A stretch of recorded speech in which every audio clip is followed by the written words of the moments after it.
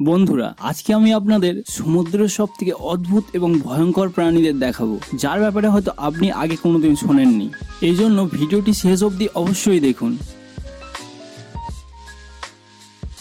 Wolf eel. এই মাছটি গরম জলে অথবা সমুদ্রের অনেক গভীরে থাকে। এটা দেখতে অদ্ভুত। এরা রাতের আন্ধারে শিকার খুঁজতে বার হয়, আর দিনের বেলা কোনো অন্ধকার জায়গায় অথবা কোনো পাথরের নিচে লুকিয়ে থাকে। এর দাঁত খুব ধারালো হয়, কিন্তু এরা মানুষের কাছাকাছি আসতে ভয় পায়। ববিট ওয়াম, এই জন্তুটি মাথাটা বাদ দিয়ে সারা শরীর মাটির নিচে লুকিয়ে রাখে, যাতে এরা সহজে শিকার ধরতে পারে। যেহেতু এরা মাটির নিচে লুকিয়ে থাকে, তাই অন্য কোনো প্রাণী সহজে এদের দেখতে পায় না। তাই যখন এর পাশ দিয়ে কোনো শিকার যায়, এরা বিদ্যুতের গতিতে তার উপরে ঝাঁপিয়ে পড়ে এবং শিকার করে।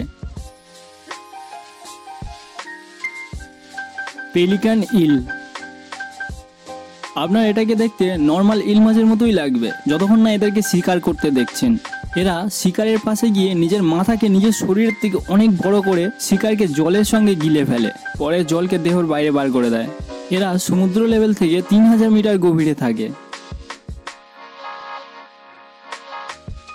টাইগার ফিশ এই মাছটি আফ্রিকার মিষ্টি জলে পাওয়া যায়। এর ওজন পঞ্চাশ কিলোর থেকেও বেশি হয়। এই মাছের সব থেকে ভয়ঙ্কর ব্যাপার এটাই হলো, এদের দাঁত খুব ধারালো হয়, যেটা দিয়ে তারা কুমিরের উপরে পর্যন্ত আক্রমণ করে বসে।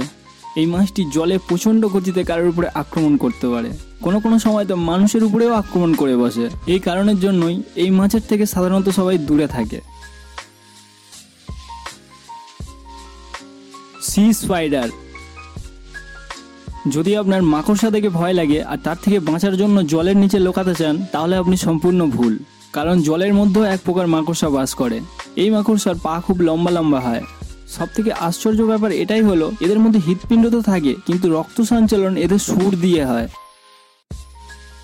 তো বন্ধুরা, ভিডিওটিতে একটি লাইক করে দিন, কারণ আপনার একটি লাইক আমাকে ভিডিও বানাতে অনেকটা মোটিভেট করে। আর আমাদের চ্যানেল সাবস্ক্রাইব করে পাশে থাকা ঘন্টাটা অবশ্যই বাজান, এখানে অল নোটিফিকেশনটাই অন করবেন, কারণ আমি নতুন ভিডিও যখনই পোস্ট করব, সবার আগেই পৌঁছে যাবে আপনার কাছে।